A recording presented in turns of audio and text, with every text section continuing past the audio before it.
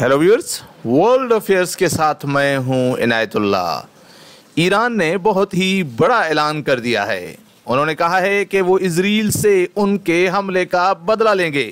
ज़्यादा डिटेल्स इस world affairs के वीडियो में।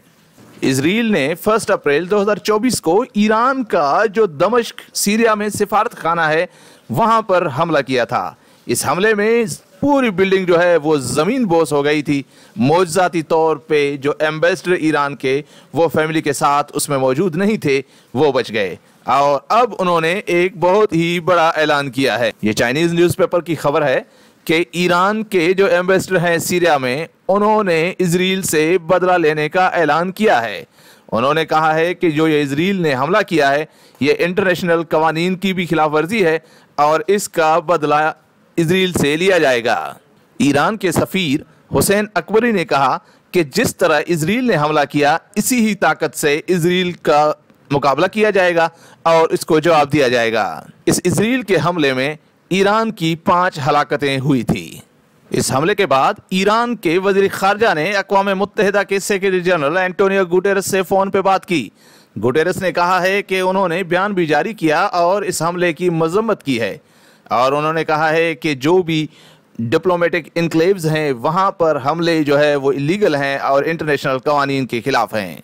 जबकि ईरान के वज़ीर खारजा का कहना है कि उनको उम्मीद है जनरल हैं एंटोनियो गुटेरस, वो एक हंगामी इजलास यूएन सिक्योरिटी की बुलाएँगे और इस हमले पे डिस्कस किया जाएगा और इसकी मजम्मत की जाएगी और कोई लायामल बनाया जाएगा कि मुस्तबिल में ऐसा ना हो। जबकि ईरान के एम्बेसी में इस इसराइल के हमले की बहुत सारों ने जो है मजम्मत की और उन्होंने कहा है कि ये जो इसराइल ने किया, ये इंटरनेशनल कवानीन की खिलाफ वर्जी है। बड़ी बात यह है कि ईरान ने जब बदले की बात की तो ये नहीं बताया कि ये बदला कब लेंगे, कैसे लेंगे। बहरहाल, जिस तरह से अब इसराइल के पास पावर है और अमेरिका का सपोर्ट है तो लग ऐसे नहीं रहा कि ईरान कोई डायरेक्ट हमला वगैरह इसराइल या उनके इंटरेस्ट पे करेंगे। तो इस हवाले से यमन के हुतीज़ वो इस्तेमाल हो सकते हैं। ईरान जो है हिजबुल्ला जो लिबनान में है, उसको यूज़ कर सकता है। यानी कि प्रॉक्सीज़ के थ्रू ईरान जो है इसराइल के इंटरेस्ट्स को नुकसान पहुँचाने की कोशिश करेगा और फिर बाद में ये तासर दिया जाएगा कि ये बदला ईरान ने लिया है। बहरहाल, ये तो आगे आने वाले दिनों में ही पता चलेगा। बहरहाल जैसे चाइनीज़ न्यूज़पेपर का लिखना है कि इस हमले से जो रीजनल टेंशन्स हैं, इनमें इजाफा हो सकता है। और पहले ही हुतीज़ वो रेड सी पे हमले कर रहे हैं।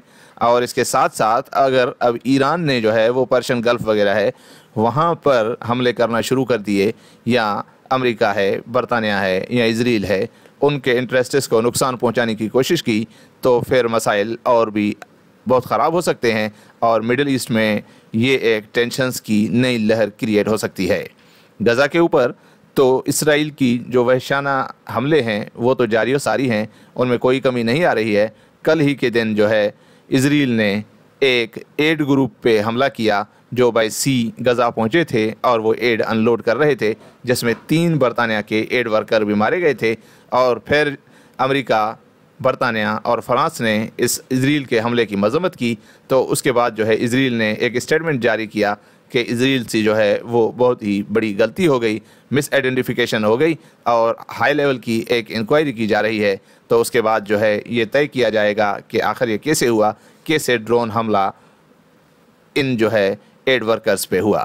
बहरहाल, अब देखते हैं कि ईरान इस हमले का जवाब कैसे देता है, कब देता है और उसके बाद इसराइल का क्या रिएक्शन होता है? ये तो लाजिम है कि अगर ईरान ने डायरेक्ट रिएक्ट करने की कोशिश की तो फिर मिडिल ईस्ट के जो हालात हैं, वो और ख़राब और कशीदा होंगे। ये वीडियो पसंद आए तो इसको लाइक करें शेयर करें कमेंट करें, अपना बहुत बहुत ख्याल रखें।